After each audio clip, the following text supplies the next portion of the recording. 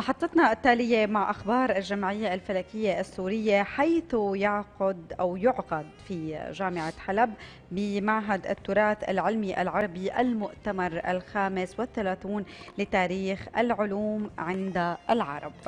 المؤتمر لإحياء لذكرى العالم العربي موسى بن شاكر وأولاده يلي كان لهم دور كتير كبير بمسيرة التطور والحضارة في 23 إلى 25 تشرين الثانية من هذا العام ولأهمية هذا المؤتمر وخاصة على الصعيد الدولي حيث تعتبر هذه المؤتمرات المعهد مرجع للأبحاث والمعلومات.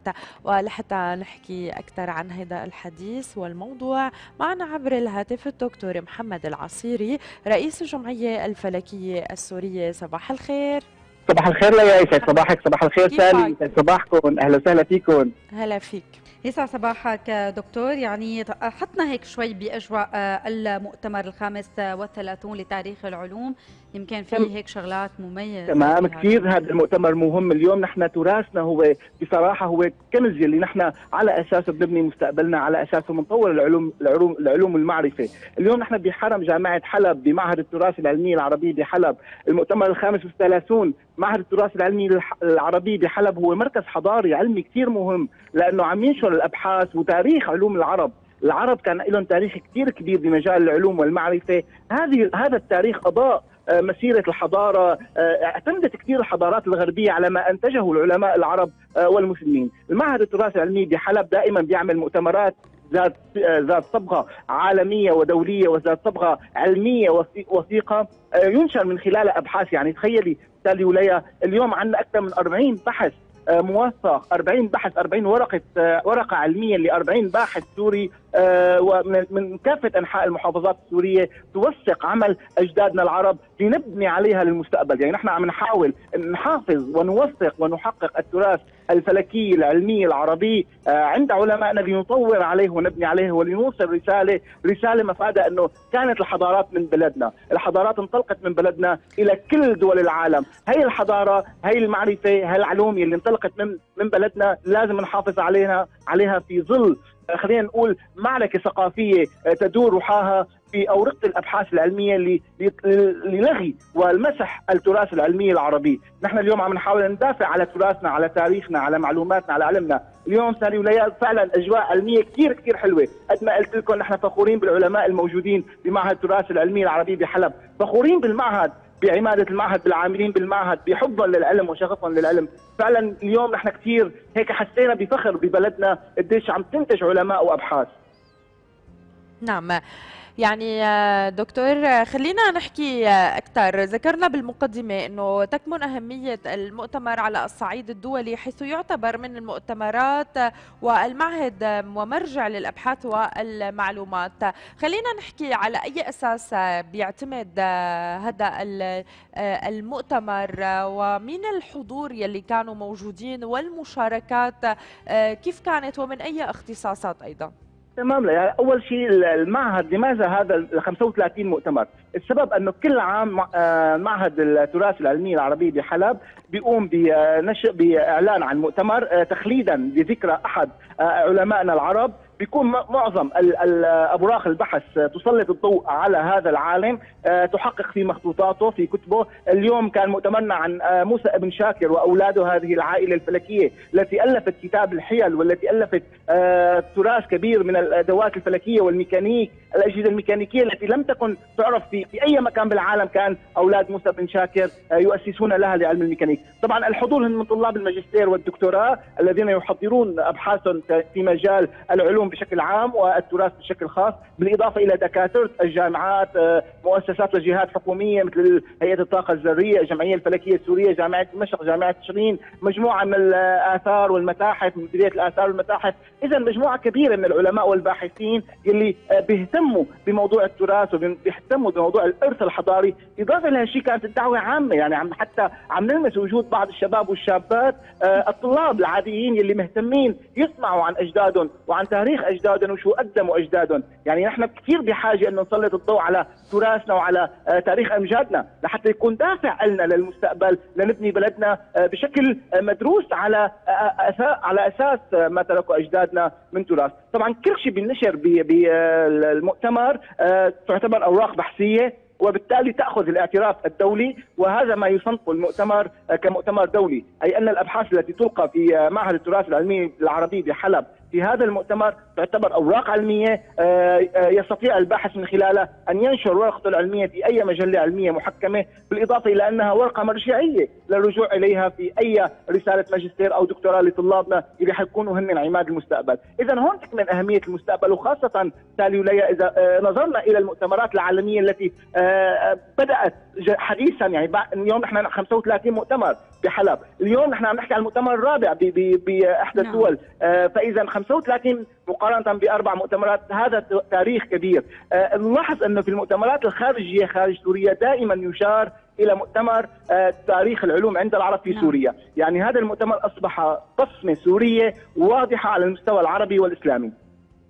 نعم يعني دكتور يمكن شرحت أهم ما جاء في المؤتمر وخاصة يعني نحن هلأ في خلينا نقول مثل طور هيك تطوير الجمعية الفلكية السورية وهيك مؤتمرات نحن بحاجة لها بهذا الوقت. خبرنا أيضا يعني آه، مشاركتكم كجمعية آه، كيف كان لها الدور؟ وخاصة الجمعية الفلكية السورية هي من أهم الجمعيات التي تعنى بالفلك وخاصة هلأ بهذا الوقت الحالي مع تغيرات الفلك والمناخ. صحيح فعلي ولايا هلأ نحن مشاركتنا أخذت طابع مميز نسبيا لأنه نحن حاولنا نسلط الضوء على ظواهر فلكية نعم. ممتعة. يعني نحن اليوم ورقة عملنا كانت هل ظهر الشفق القطبي في حلب نحن ندرس موضوع الأورورا الشفق القطبي يلي بيتسابقوا العالم لمشاهدته بالقطبين. وهنيك فنادق وهنيك منتجعات سياحية وفي اسمها سياحة فلكية لمراقبة الشفق القطبي، هي الألوان الجميلة اللي تظهر في السماء نتيجة احتكاك الرياح الشمسية بالحقل المغناطيسي للأرض، اليوم نحن بالجمعيه الفلكية السورية إحدى أوراق عملنا كانت دراسة تاريخ علوم العرب. آه، ودراسة التوثيق الذي جرى في حلب عن مشاهدة أضواء في سماء حلب. إذا ثبتت هذه الدراسة أي أن هناك انفجار حصل على سطح الشمس فيما مضى. بنحاول ناخذ تاريخ ذلك الانفجار بنحاول آه، نسقطه على واقعنا اليوم بنقدر نصل لنتيجة هل يا ترى الشمس مقبلة على انفجار جديد وبالتالي هل نحن الحرارة هي اللي عم نعاني منها من احتباس حراري وتغيرات مناخية المرتبطة بغاز ثاني أكسيد الكربون؟ أيضا الشمس لها دور في ذلك ونحن مهددين بانفجار على سطح الشمس. اذا نحن ربطنا حاولنا نربط التراث الماضي بالواقع الحالي.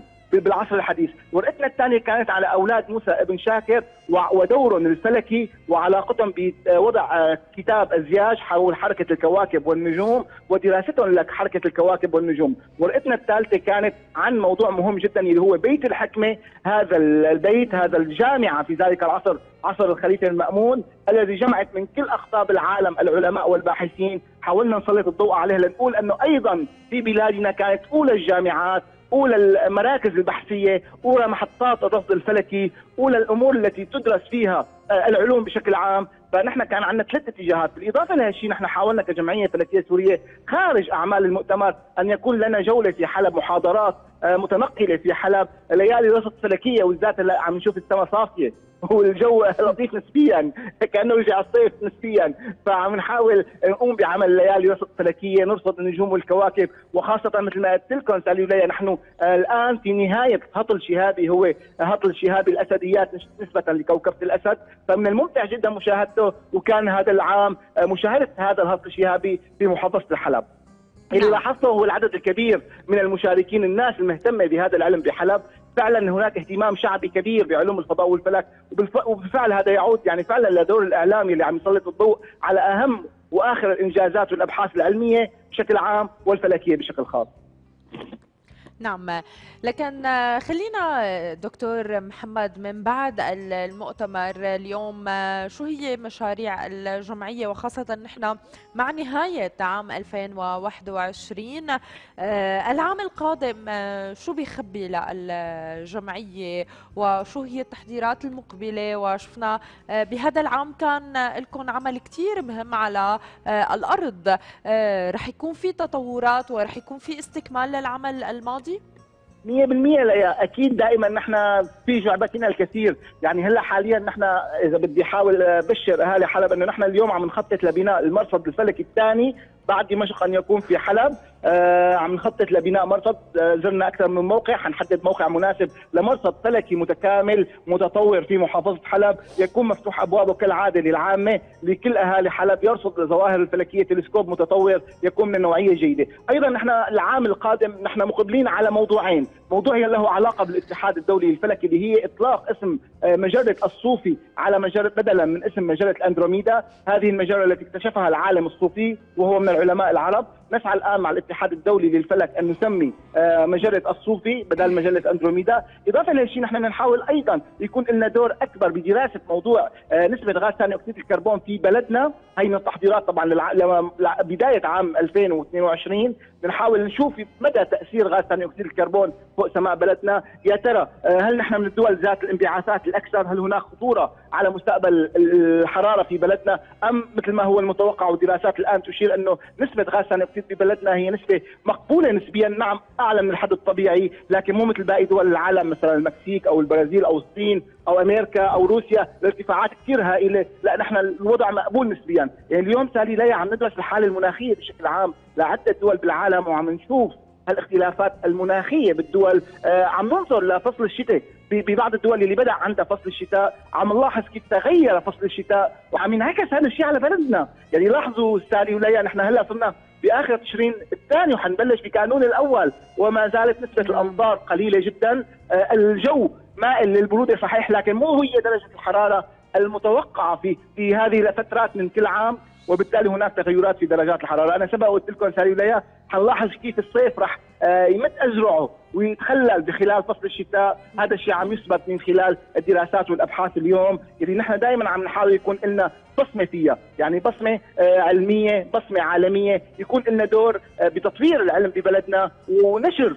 مفهوم الفلكي على كل الأصعدة وكل المجتمعات. اذا في مخططات كثير قدامنا لعام 2022 نحن دخلنا الاتحاد الدولي للفلك لنقول إننا سنبقى ونطور أعمالنا وهذا الشيء اللي عم نشتغل عليه. نعم أكيد نحن بنتشكرك دكتور وناطرينك عنا بالاستديو لحتى نحكي بشكل موسع أكثر يسعد صباحك وشكرا لأنك كنت معنا. سالي وليا يسعد صباحكم صباح الخير. كل مستمعينا ومشاهدينا الكرام. شكرا لك دكتور محمد العصيري رئيس الجمعية الفلكية السورية.